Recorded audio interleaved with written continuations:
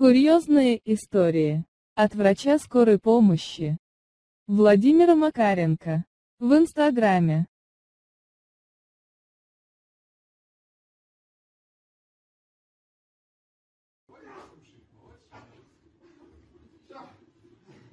Скоряковские истории. Детектив. Бригада номер Н выехала в поселок. Далеко, на район. В поселке они работали с одним вызовом и получили вызов в рядом большой поселок, рядом который находится, в еще больше поселок, что около дома номер 5 лежит тело. Возвращаемся к телу. Точнее, идем сразу к телу. Тело шло домой. Лежил, э, не дойдя до дома, находилось оно в доме номер 7, оказывается, жило. Прилегло около дома номер 5, а с дома номер 5 бабуля вызвала скорую, что телу плохо. Пока бригада ехала к телу, тело встало и пошло домой. А в это время домой, в дом номер 5, возвращался хозяин дома номер 5, квартиры номер 5, как удивительно было. Пришел домой в состоянии алкогольного опьянения и лег спать.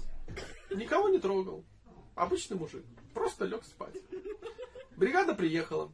Около дома номер 5 не нашли тело.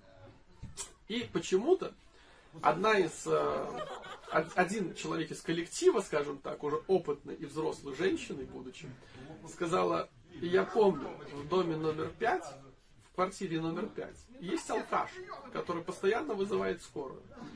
Пойдем посмотрим. Пошли посмотреть. Квартира номер 5, дом, ну вот, открыто, двери. Они зашли. Пощелкали выключателями, света нет. Ну там тоже такой алкашик асоциальный жил. Они заходят в комнату, темно, луна светит. Они видят, лежит мужик. Говорят, о, наш, точно. Давай будем будить. Одна старой становится у изголовья, вот так вот у него над ним. Вторая становится сбоку. И эта, которая у изголовья, начинает его так щечки через такая. Просыпайся, просыпайся. А, включите фантазию. Когда мужик заснул, дома, он дошел до дома, он заснул у себя дома. И он открывает глаза, и тебе вот так вот кто-то стоит и делает, просыпайся, просыпайся. Получили обе. Обе получили не сильно, но пока зажглись фонарики, пока разобрались, кто это был. Получили обе. Вот такая история бывает. До встречи. Ребята, охренительная скоряковская история, но нужно воображение. Короче, деревня недалеко от нас. Там учитель, ну такая большая деревня, не слегка. Учитель физкультуры. У детей нет стадиона. И он сам, как бы обкашивая там площадку, сделал лыжню там по зиме. И дети по, э, по зиме там на, лыж, на лыжне ездят, на лыжах получается. И он, чтобы эту поддерживать все в нормальном состоянии, там зимой растет какая-то полынь, он берет, одевает лыжи на ноги, берет косу обычную и поехал обкаживать. Ну вот он едет и косит. А чуть поодаль, в низинке, стоит магазин. Продавщица с магазина смотрит, блядь.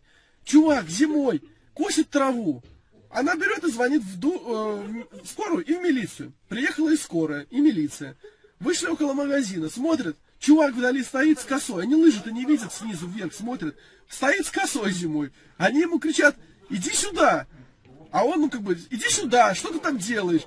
А он не слышит. Он такой, с косой ты и к ним шурует потиху. Они ему, брось косу, брось косу. А он не слышит это, он там рукой махает им что-то типа, что я не слышу. И с косой это идет на них. Менты там, чуть ли не за пистолеты хвататься, фиг знает. С косой мужик идет, может у него белка какая. А он к ним такой бодрым шагом идет, наш водитель рассказывает. Я, говорит, смотрю, он так бодро направляется, ну, думаю, сейчас с косой, это чехлить тут будет. Подходит ближе, говорит, да я физрук, говорит, я траву туда вкачиваю, мол, типа быльник. Они, ё-моё, чуть, дур, чуть в дурку, короче, его не увезли. Вот такая бывает история.